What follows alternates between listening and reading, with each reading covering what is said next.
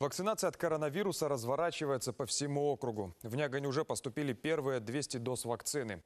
В начале февраля ожидается еще 5 тысяч. В первую очередь прививку делают гражданам из групп риска – пенсионерам, врачам, педагогам. Но получить защитный укол могут все желающие старше 18 лет. Производители вакцины особо указывают, что она не содержит вируса ни в живом, ни в инактивированном виде, а только поверхностные частицы его РНК, поэтому показано к широкому кругу лиц. Все, кто согласился на иммунизацию, проходят предварительный медосмотр, а после инъекции полчаса наблюдаются врачами. В соответствии с правилами прививки ставятся исключительно по предварительной записи. За первые два дня вакцинации уже привились полсотни горожан.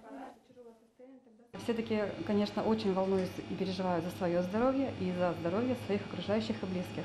То есть, э, в первую очередь, решение приняла только из-за этого. Самочувствие хорошо. В числе привитых нягонцев и Павел Новиков.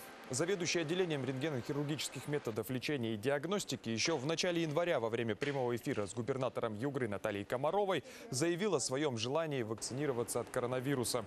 Он рассказал губернатору, что записался на добровольную вакцинацию одним из первых, так как верит в разработку российских вирусологов. Мы видим, что заболевание порой протекает очень тяжело и имеется ну, достаточное количество смертельных случаев, как в нашей стране и в мире.